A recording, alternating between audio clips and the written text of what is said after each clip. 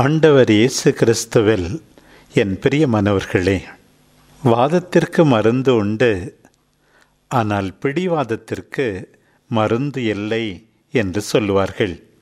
சில பேர் யாரோடும் ஒத்துழைக்க மாட்டார்கள். எல்லாவற்றிலும் அவர்களுக்கு திருப்தியே இல்லை. இப்படிப்பட்டவர்களை குறித்துத்தான் இன்றைய நற்செய்தியிலே ஆண்டவர் கூற கேட்கின்றோம். இறை வார்த்தைக்கு செவிமடுக்காத மக்கள் கூட்டத்தை பார்த்து ஆண்டவர் சொல்லுகின்றார் இத்தலைமுறையின் மக்களை யாருக்கு ஒப்பிடுவேன்?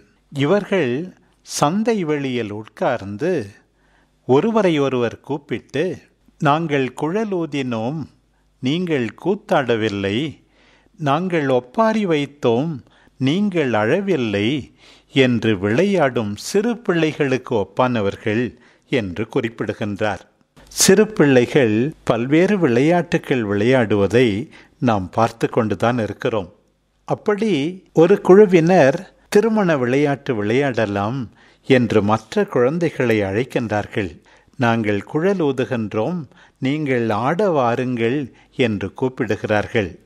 அவர்களுக்கு மனமில்லை. இதற்குத்தான் ஒத்துழைக்க மாட்டேன் என்கின்றீர்கள். அல்லது ஒரு இழவு வீட்டை நாம் விளையாட்டாக அமைப்போம் என்று நாங்கள் ஒப்பாரி வைக்கின்றோம் நீங்கள் அழுங்கள் என்று கூப்பிடுகின்றார்கள். அதற்கும் அவர்கள் ஒத்து வரவில்லை.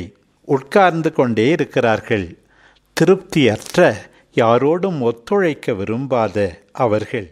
ஆண்டவர் இயேசு அன்றைய மக்களை பார்த்து சொல்லுகின்றார் திருமுழுக்கு யோவான் வந்தார் அப்பமோ ரசமோ அவர் உண்ணவில்லை. பாலைவனத்தில் கிடைத்த உணவை உண்டு. எளிமையாக வாழ்ந்தார். அவரை பார்த்து நீங்கள் பேய் பிடித்தவன் என்கிறீர்கள். மனமாற்றத்திற்கு உங்களை அழைத்தார். அவரை குற்றம் சாட்டுகிறீர்கள். அவருடைய செய்தியை உங்களுள் பெரும்பாலோர் ஏற்றுக்கொள்ளவில்லை. இன்னொரு பக்கம் மனுமகனாகிய நான் உங்கள் மத்தியிலே வந்தேன். உண்டேன் குடித்தேன். ஊர் ஊராகச் சென்றேன். தொழுகை கூடங்களில் கற்பித்தேன்.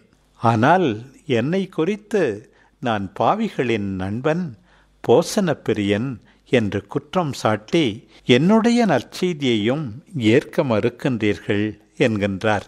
பிரியமானவர்களே நாமும் அந்த மக்களைப் போலத்தான் திருப்தியற்ற குழந்தைகளாக செயல்பட்டு கொண்டே இருக்கிறோம். ஆண்டவர் விடுக்கின்ற மனமாற்றத்தின் செய்திக்கு செவி கொடுக்காமல் இருக்கிறோம். எந்த ஒரு நம்பிக்கையின் திட்டம் மனமாற்றத்தின் திட்டம் நம்முன் வைக்கப்பட்டாலும் ஏதாவது சாக்கு போக்கு சொல்லி தகர்த்தெறிந்து விடுகிறோம். விளையாட விரும்பாத குழந்தைகள் எழுந்திருக்கவில்லை. இருந்த இடத்திலேயே உட்கார்ந்திருந்தார்கள். அப்படித்தான் அப்படித்தான் நாமும் பல நேரங்களில் செயல்படுகிறோம். நாம் இருக்கின்ற பாவ நிலையிலிருந்து எழுந்திருக்க நாம் விரும்புவதில்லை. நாம் செயல்படுவதில்லை. மனம் மாற விரும்புவதில்லை. கீழ்ப்படிய மனம் இல்லை ஆண்டவர் நமக்கு கொடுத்த அரிய வாய்ப்பை வீணாக்கி கொண்டே இருக்கிறோம். இன்றைக்காவது நாம் அனைவரும் மனம் திரும்ப ஆசிப்போம். உண்மையாகவே மனம் மாறினால் இன்றைய முதல் வாசகத்தில் பவுலடியார் நமக்கு எடுத்துரைக்கின்ற அன்பின் பாடல் நம் உள்ளத்தை தொட வேண்டும். அந்த கொருந்திய சபையிலே எத்தனை பிளவுகள் நெருக்கமானவர்களிடையே தகாத உறவுகள் ஏழைகள் புறக்கணிக்கப்படுதல் ஆன்மீக கொடைகள் தவறாக பயன்படுத்தப்படுதல். இந்த சூழலில்தான் பௌலடியார் அவர்களுக்கு அறிவுறுத்துகின்றார். இந்த பிரச்சனைகளுக்கெல்லாம் காரணம் உங்களிடம் அன்பு இல்லாததுதான் என்று எடுத்துரைக்கின்றார். பிரியமானவர்களே இன்றைக்கு குறிப்பாக பவுலடியாரின் அன்பின் பாடலை நம் கண்முன் நிறுத்துவோம். அன்பு பொறுமையுள்ளது.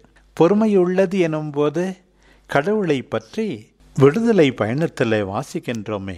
முப்பத்தி நான்காம் அதிகாரம் ஆறாவது வசனம் சினம் கொள்ள தாமதிப்பவர் என்று. அவ்வாறுதான் நாமும் சினம் கொள்வதை தவிர்க்க வேண்டும். உணர்ச்சி பிழம்பாக கட்டுக்கடங்காமல் நாம் செயல்படக்கூடாது. ஆண்டவருடைய பொறுமை ஏழைகள் மட்டில் அவர் காட்டிய இரக்கத்தில் வெளிப்படுகிறது. அதுதான் உண்மையான வல்லமை. மற்றவர்கள் பெர்ஃபெக்டாக இருக்க வேண்டும் என்று நாம் எதிர்பார்ப்பது தவறு. நம்மை நாமே மையப்படுத்தி கொள்ளக்கூடாது. எல்லாம் நம் இஷ்டப்படித்தான் நடக்க வேண்டும் என்று எதிர்பார்க்கக்கூடாது அப்படி இருந்தால் நாம் உண்மையாகவே பொறுமையை இழந்து விடுவோம். எஃபேசியருக்கு எழுதிய திருமுகம் நான்காம் அதிகாரம் முப்பத்தொன்றாவது வசனத்திலே வாசிக்கிறோமே. தீய சொல் எதுவும் நம் வாயிலிருந்து வரக்கூடாது. கூச்சல் எழுப்பக்கூடாது.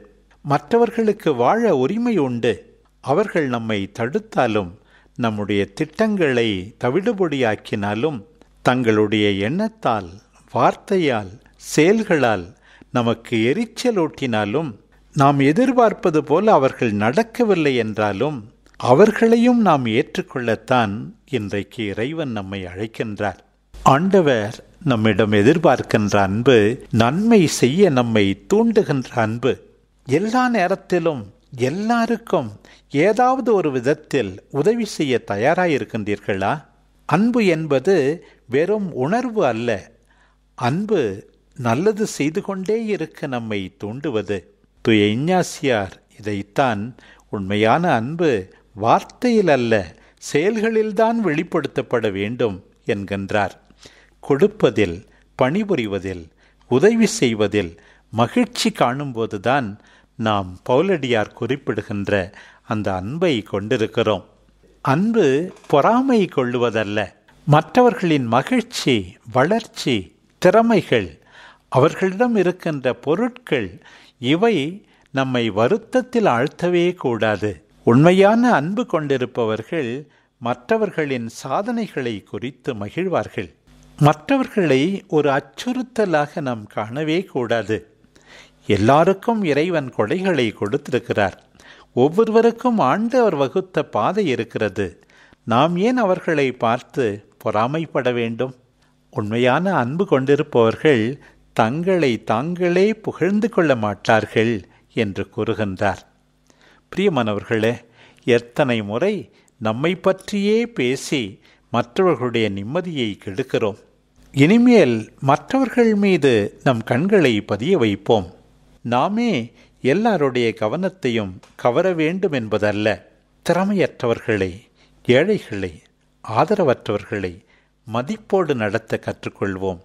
நாமோ தாட்சியோடு இருக்க வேண்டும் மற்றவர்களை புரிந்து கொள்ள வேண்டும் மன்னிக்க வேண்டும் மற்றவர்களுக்கு பணிபுரிய வேண்டும் இவற்றை மனமோந்து செய்ய வேண்டும் என்பதை ஒருபோதும் மறக்காதிருப்போம். புறவினத்தாரிடையே அடக்கி ஒடுக்குதல் முதலிடத்தை தேடுதல் இருக்கலாம். ஆனால் உங்களிடையே இப்படி இருக்கக்கூடாது என்றாரே நம் ஆண்டவர்.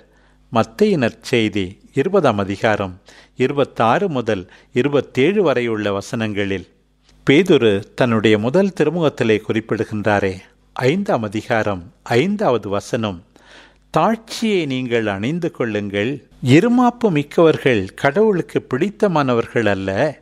மாறாக தாட்சி உள்ளவர்களுக்கு அவர் தம் அருளை பொழிகின்றார் என்கின்றாரே. அதை நினைவில் கொள்ள வேண்டும். பிரியமானவர்களே உண்மையான அன்பால் நிரப்பப்பட்டு கனிவோடும் மென்மையோடும் நாம் மற்றவர்களோடு பழக வேண்டும். பாசமாக மற்றவர்களை பார்க்க வேண்டும். மற்றவர்களை உற்சாகப்படுத்துகின்ற அவர்களுக்கு தெம்பு அளிக்கின்ற ஆறுதல் அளிக்கின்ற நல்ல வார்த்தைகளை நாம் பேச வேண்டும். நம் ஆண்டவர் இயேசு அப்படித்தானே உரையாடினார்? மகனே தைரியமாயிரு என்று உரைத்தாரே மத்தையினர் செய்தி ஒன்பதாம் அதிகாரம் இரண்டாவது வசனம். அம்மா உன் நம்பிக்கை பெரிது என்று பாராட்டினாரே. மத்தையினர் செய்தி பதினைந்தாம் அதிகாரம் இருபத்தெட்டாவது வசனம். மகளே எழுந்திரு என்று சொன்னாரே. மார்க்கு நற்செய்தி ஐந்தாம் அதிகாரம் நாற்பத்தொன்றாவது வசனம். சமாதானமாய் போ என்று உரைத்தாரே லூக்கா நற்செய்தி ஏழாம் அதிகாரம் ஐம்பதாவது வசனம். அஞ்சாதீர்கள் நான் தான் என்று உரைத்தாரே மத்தைய நற்செய்தி பதினான்காம் அதிகாரம் இருபத்தேழாவது வசனம். இப்படி உரையாடத்தான் மற்றவர்களை கட்டி எழுப்பத்தான் ஆறுதல் அளிக்கத்தான் நாம் ஒவ்வொருவரும் அழைக்கப்படுகிறோம். உண்மையான அன்பால் நாம் நிறைந்திருக்கும் போது இன்னும் ஒன்று மிகவும் தாராளமாக இருப்போம். நம்மை பற்றியே நாம் கவலைப்பட்டு கொண்டு மற்றவர்களுடைய தேவையை மறந்துவிட மாட்டோம். தூய தாமஸ் அக்வினாஸ் குறிப்பிடுவது போல அன்பு செய்யப்படுவதை விட அன்பு செய்ய நாம் எப்போதும் தேடுவோம் மன்னிப்போம் நம்புவோம் எல்லாவற்றையும் பொறுமையோடு தாங்கிக் கொள்வோம். பிரியமானவர்களே ஆண்டவருடைய வார்த்தை மீண்டுமாக இன்றைக்கு நமக்கு வழங்கப்பட்டுள்ளது. அடம் பிடித்து கொண்டு மாற நினைக்காத கீழ்ப்படிய மறுத்த குழந்தைகளாக நாம் நடந்து கொண்டிராமல் உண்மையாகவே ஆண்டவருடைய வார்த்தையை ஏற்றுக்கொள்வோம். நம்முடைய பிரச்சனைகளுக்கெல்லாம் தேர்வு. பவுலடியார் நமக்கு இன்றைக்கு எடுத்து கூறுகின்ற அன்பால் ஆட்கொள்ளப்படுவதுதான் என்பதை புரிந்து கொண்டு நம்முடைய நம்பிக்கை பயணத்தை தொடர்வோம். ஆமீன்.